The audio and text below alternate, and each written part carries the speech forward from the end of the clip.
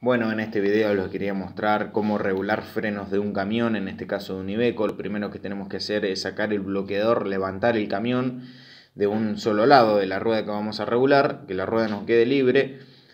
Aquí como vemos tenemos ese tornillito que es como un crique, para un lado avanza y para el otro lado no. Para el lado que avanza eh, las cintas se van arrimando a la campana y vamos de a poquitito mientras que giramos la rueda cuando sentimos que empieza a rozar las cintas, es hasta ahí.